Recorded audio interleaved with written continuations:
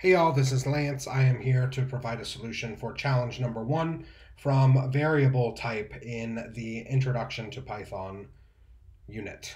Uh, I am asked what will the following code print, and I have a print statement with the type of x uh, following two assignment operators. Uh, if I trace this code, uh, the first thing I float is assigned to x. The second thing I have floor division, which is assigned to x, and floor division always returns an integer. So I am looking for some sort of integer to be my output. And uh, I'm just going to run a, a, print statement to figure that out. Uh, I have those three lines of code here. And what I'm going to do is I'm just going to run my workspace.py file where I have these, this code saved.